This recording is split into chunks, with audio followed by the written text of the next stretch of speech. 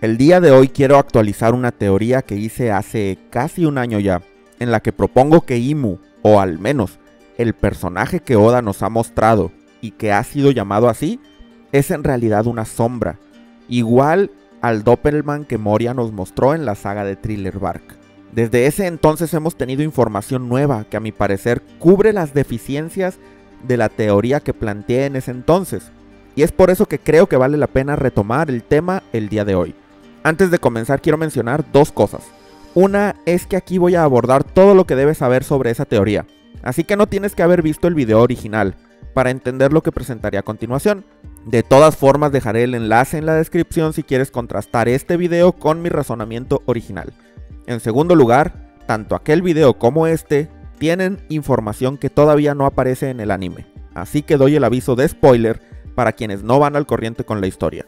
Ahora sí comencemos con la teoría. Hasta el momento en todas sus apariciones, Imu se nos ha presentado como una figura completamente oscura, que parece traer una capa y una corona larga, y con dos ojos de mirada penetrante e intimidante. Oda suele ensombrecer personajes mostrando solo su silueta, para después presentarlos debidamente cuando llega el momento adecuado. Pero aquí comenzamos a preguntarnos si Imu será un caso especial, y en vez de estar ensombrecido como decisión artística, en realidad así es como se ve. Me parece que eso es posible, pero yo voy más allá y creo que no solamente podría verse como una sombra, sino que es una, un Doppelman del verdadero Imu, al que Ivankov identificó como Nerona Imu, uno de los 20 reyes fundadores del gobierno mundial. Pero para que eso suceda, hay un detalle importante que tenemos que considerar. Si el Imu que conocemos es un Doppelman, entonces él tendría que haber sido usuario de la Kage Kage no Mi, cosa que es imposible, pues su usuario en el presente es Gecko Moria. Ese es el punto débil que tenía mi teoría hace un año, pero ahora creo que ya tenemos una respuesta. Antes de revelar eso, quiero exponer cómo es que la teoría del Doppelman funciona bastante bien. Aunque aún no tenemos confirmación, es muy probable que el Imu del presente sea el mismo Nerona Imu del siglo vacío, uno de los 20 reyes fundadores y por tanto alguien que ha vivido por muchísimo tiempo. Ivankov, al igual que muchos lectores de One Piece, especula que eso debió haber sido posible gracias a la operación de la juventud eterna brindada por la Ope Ope no Mi. Sin embargo, aunque es una teoría plausible, cuando Oda nos pone a algún personaje a especular y propone una teoría, suele ser para confundir al lector y después revelar más tarde la verdad. Creo que Ivankov mencionando la juventud eterna de la Ope Ope no Mi es solo una manera de exponer la capacidad de esa fruta de conceder semejante deseo, pero no creo que Imu haya tenido el gusto de lograr la juventud eterna. Doflamingo nos mencionó que el poder se degrada y muy probablemente esa frase va dirigida a la condición de Imu, a hacer ver que él está envejeciendo aunque muy lentamente, y quizá pronto necesite encontrar una solución a su dilema. Pero si él no recibió la juventud eterna, entonces ¿cómo ha vivido tanto? Si Imu tuviera el poder de la Kage Kage no Mi, habría una solución. Dejar que su Doppelman sea el que gobierna, mientras su cuerpo real se mantiene en criogenia, en un estado de animación suspendida que le permita envejecer extremadamente lento, reduciendo sus funciones vitales al máximo. Así podría tener tiempo tanto para gobernar como para buscar una mejor alternativa, como por ejemplo, encontrar la Ope Ope no Mi y hacerse la operación de Juventud Eterna.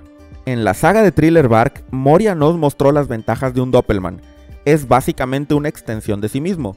Incluso puede intercambiarse de lugar con él de manera aparentemente inmediata. Sería una forma perfecta para Imu de preservar su vida al mismo tiempo que sigue estando consciente para dar las órdenes necesarias al Gorosei. Durante la intrusión de Sabo a la habitación del trono vacío, vimos que Imu podía atacar con una especie de flecha que parece propagarse por las superficies.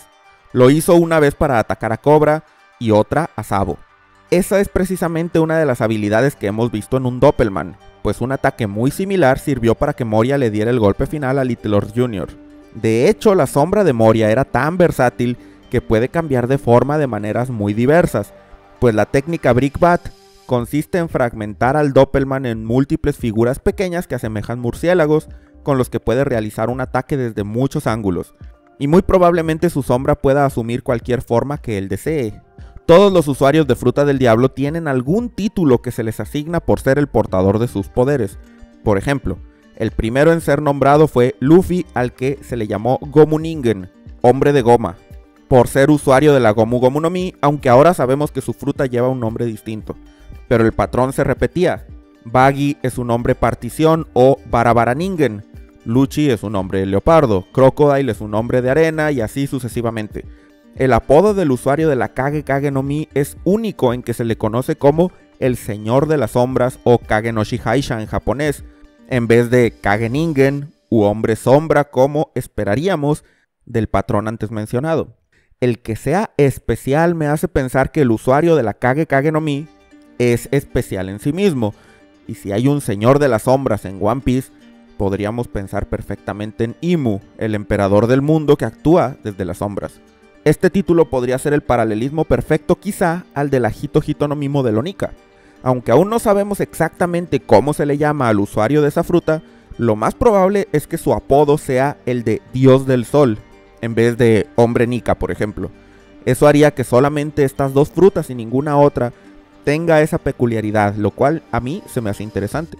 Hay una frase que deja pensando bastante al final de la saga de Thriller Bark, que potencia mi creencia en que la Kage Kage no Mi es más importante de lo que parece y Oda la utilizó para dejar mensajes. Y viene de Sanji, en el capítulo 483 del manga titulado El final del sueño. Él dice, todas las cosas extrañas que hemos visto desde que llegamos a esta isla fueron parte del engaño de Moria. Ahora que ha sido derrotado, no queda nada. Es como despertar de un mal sueño. Todo se ha ido como una mala casa embrujada. Esta frase es mencionada luego de que llegó el amanecer, y gracias a que Moria fue derrotado, las sombras regresaron a sus dueños y así todo volvió a la normalidad. Me pregunto si habrá un paralelismo a esto que dijo Sanji al final de la obra, cuando llegue el amanecer no solo de Thriller Bark, sino del mundo entero. Hasta aquí todo muy bien, pero para que todo funcione, Imu tendría que ser usuario de la Kage Kage no Mi. Con la información reciente, esto puede ser posible, aun y cuando Moria sea el usuario actual. Me explico. Desde que aparecieron los miembros del Gorosei, los hemos visto desplegar una enorme cantidad de poderes, y muchos de ellos recuerdan habilidades de usuario de fruta del diablo que conocimos antes. Por ejemplo, Jay García Saturn es capaz de lanzar bombas como si fuera usuario de la Bomu Bomu no Mi, que usó Mr. Five, o incluso parece crear veneno al igual que Magellan. Topman Valkyrie tiene una dureza increíble en su cuerpo, que hace que incluso Luffy en Gear Fifth y usando Haki sienta dolor al golpearlo. Y además vemos que sus colmillos pueden tener filo, muy parecido a lo que vimos cuando Mr. One se enfrentó a Zoro en el arco de Arabasta. Y Tambaron Venus Yuro es capaz de cortar y congelar con su espada de una forma que recuerda bastante al estilo que Brook desarrolló en el salto temporal utilizando su espada Soul Solid, con lo que él dice que es el frío del inframundo. Cada uno de estos ejemplos visto de forma aislada podría ser visto como una coincidencia, y no tiene nada de malo pensar así. Pero ya cuando se van acumulando cada vez más y más ejemplos, empiezo a creer que los del Gorosei no solo tienen poderes que parecen poderes de otros usuarios de fruta, sino que son esos mismos poderes. ¿Cómo lo hacen? No lo sé. Pero si Imu es igual, ya tenemos nuestra respuesta. Imu de entre sus tantas habilidades tiene el poder de la Kage Kage no Mi. De hecho, esta misma premisa la utilicé para desarrollar otra teoría en la que, si Imu tiene también el poder de la Hobby Hobby no Mi de Sugar, lo utilizó en el siglo vacío para borrar a Joy Boy de la memoria de todo el mundo, y así es como todo un siglo quedó vacío. Te dejaré también esa teoría en la descripción por si la quieres revisar. Hay que recordar que Shanks le contó a Baggy en el flashback del capítulo 19 del manga titulado Fruta del Diablo, que él escuchó que estas frutas eran encarnaciones del demonio del mar. No sabemos si este rumor es cierto, pero si lo fuera, nos indicaría que existe una entidad que engloba a todos los poderes de frutas del diablo que hemos visto hasta ahora, y ese podría ser Imu. Quizá la razón de que los del Gorosei tengan sus transformaciones se deba a que el mismo Imu les comparte sus poderes, haciéndolos una especie de usuarios temporales. Hasta que me puse a escribir este video me percaté de que la Kage Kage no Mi tiene un detalle que me parece un paralelo con las frutas del diablo en general. y ese es el hecho de que somete a las personas a una maldición. Todos conocemos bien que un usuario de fruta no puede nadar, es rechazado por el mar y si llega a comer una segunda fruta, explota. Todavía es desconocido el mecanismo exacto, pero llama la atención que los usuarios parecen ser odiados por el mar. El mismo Vegapunk dice eso durante el arco de Egghead. Las personas a las que se les ha quitado su sombra también tienen una maldición. Pero ellos no son odiados por el mar, sino por el sol. Una persona sin sombra no puede ser expuesta a la luz solar porque desaparece. Claro, esta maldición es mucho más radical que la de las frutas, pero es parecida. La incapacidad de interactuar con un elemento vital, ya sea el mar o el sol.